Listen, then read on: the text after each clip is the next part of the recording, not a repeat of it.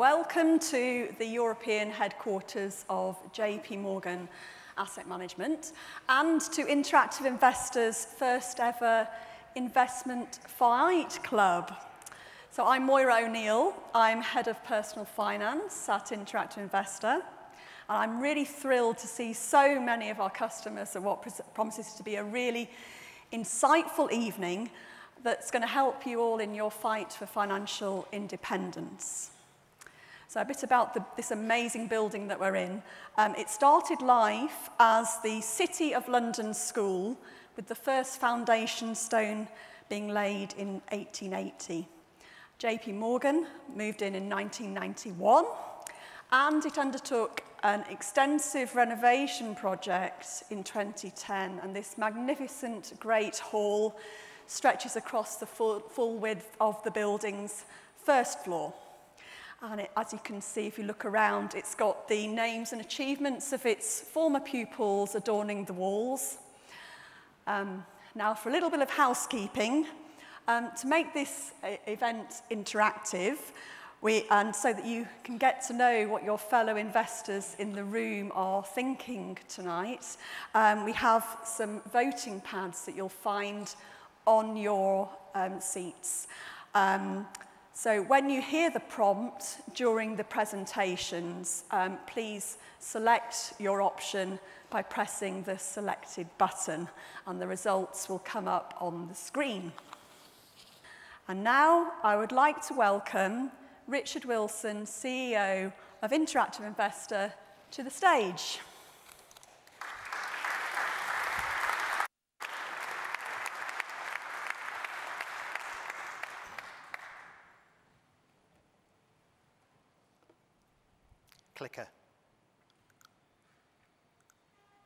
That's me. Um, good afternoon. Thank you so much for coming today. Um, this is an extraordinary venue and we're very excited about the proceedings. Um, part of uh, what I'd hoped to do here with you today is get on with the main event, but uh, I was given the impression that some of you would like to see a little bit about what Interactive is up to, where it's come from, and where it's going. Um, so I'll spend a few minutes on that. Um, I'll try not to bore you too much. If I can just ask though before I, I do that so I know who I'm speaking to, um, in the audience, uh, who here are actually interactive investor customers? Could I see a, a show of hands? Thank you very much. Just for curiosity, who, who of the customers here have been with us for more than five years? More than 10 years? Okay, we've got work to do. And for those who didn't raise your hands at all, um, you know how to log on downstairs, and we expect you to sign up as soon as possible. That's the uh, sales pitch over. So what I'll do is a, a little bit about um, what we're aspiring to be, and then just go through the story about where we've come from, where we are now, and what we're be doing next. So if we can just uh, roll the roll the video. This is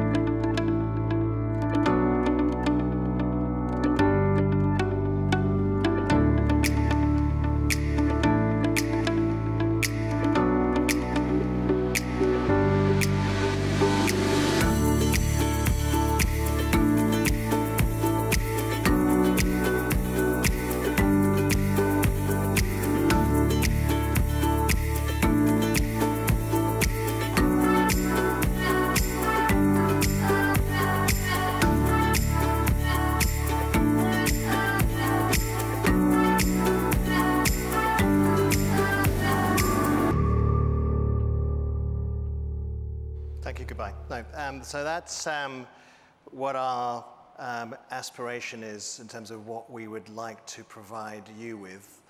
A few moments on our history, because as many of you know, we're not, um, we're not brand new. We, in fact, we were founded nearly 25 years ago now. And originally, we were an information service. And that DNA, that ability or that intent to provide information to consumers to make informed choice stays part of our core today. The journey um, had a slight interlude during the dot-com period where it um, got a bit of a famous period uh, uh, on NASDAQ, but after then it was fairly quiet until 2011 when um, II became an execution-only broker. Um, and introduced in 2012 post RDR, what at the time was um, a pretty radical proposition, which is a simple fee. Um, that was brand new at the time. Um, and we've, we've stayed with the ethos of a simple, flat price for service ever since. So we don't have any interest in taking a slice of anybody's savings. We provide a service and we charge a fee. Since then, um, more recently, uh, we've gone through a process of growing up and scaling, and you've probably seen and so some of you, I'm sure, will have been customers of previous antecedent companies where we've, we acquired um, TD Direct um, in 2007 and more recently acquired Alliance Trust Savings, which, subject to regulatory approval, we'd expect to close this June. Um, in the meantime, via the TD transaction, we did acquire a European bank um, which uh, we sold in August, and we expect that to close um, before the end of March. So that's the kind of industrial process. That takes us today to be an enterprise which has roughly 27, 27.5 billion of assets, which is about 12.5% of the market, um, about 16% of, of equity trading in the UK. Um, and something around 400,000 customers or half a million accounts. Why does that matter? The economics of a platform are, are, quite simple. We provide information to customers so they can make their choice. We execute trades on their behalf, and we custody the assets. For that, we charge a fee. That translates into economics where there are very high quality of earnings we expect the relationship with customers, as we've seen here, to be between 5 and 25 years. And it's also, um, partly because of the necessary investment in technology, it's a scale business. And as a scale business with high fixed costs, if you don't have sufficient scale, you can't generate the, the returns to invest.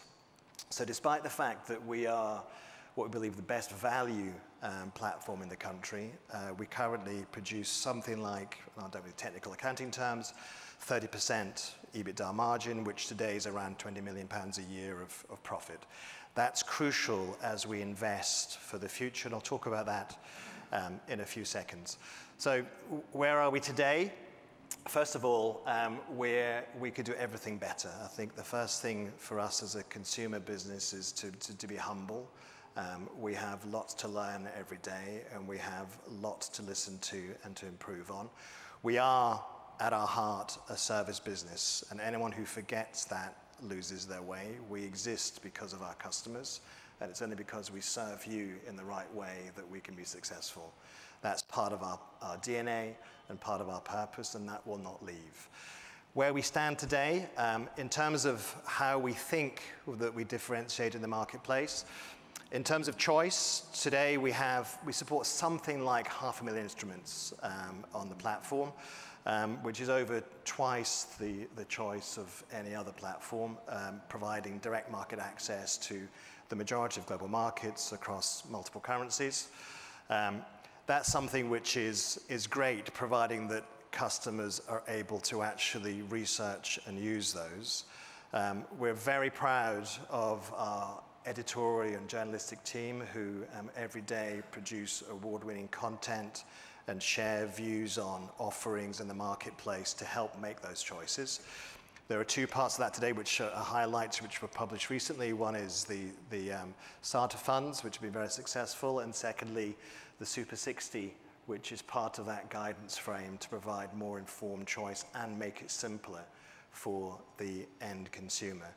Um, in terms of price, uh, we are a very simple flat fee provider. That won't change. We'd expect to try and make that a little more um, aligned to individual customers' needs in the future. Today, it's a one size fits all, irrespective of whether you trade a lot or not. So we'll try and adjust that as we go forward. Um, and of course, we do have a heavy investment in technology, and we've got a lot to do on the app. But today, it's 4.0 on the App Store. Um, it won the best dealing app in the UK in 2018. Not good enough yet. We're, we're focused very hard on making that something which is intuitive and engaging. It's not there yet. It will be in the next 12, 15 months. Last and by no means least, um, as a service business, um, we are committed to providing the best service in the sector. We're investing, um, have invested, and continue to invest very hard in customer service. Trustpilot today, um, I think it sits at 8.2 and is tracking positively. Um, I can only thank those of you who've provided feedback, whether it's positive or negative. Our job is to listen and to respond. We have several thousand responses which we watch every day, and we don't get everything right every time. Our job is to get it right and listen. I respond personally, and this is not an invitation, by the way. I do respond personally to most of our complaints.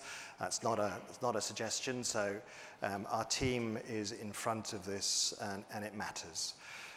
Tomorrow, um, we expect to um, invest more and more in making it easier and more intuitive to provide you with the choices so you can do what's right for you. People use expressions like robo, etc. We will provide progressively better tools in terms of guidance to support you in that process. The reality is as well is we have customers who are from between their 20s and their 80s, between vulnerable um, customers to those with no computers, to those who are very focused and trade a lot. We need to be able to personalize that service more to satisfy their needs. That'll include, for example, this year we'll expect to introduce friends and family account, so families can introduce their children or friends um, at, a, uh, at an improved price position. We expect to be able to provide real-time data to those that are um, trade more. Uh, we expect, in fact we will in the next few months, um, be replacing or, um, our security infrastructure so it's state of the market.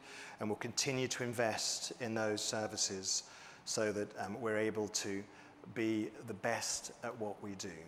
Um, part of that is about listening and learning, so thank you all for um, your ongoing feedback. Um, I don't want to take any more time. It's, it's not about us, it's about the, the event tonight.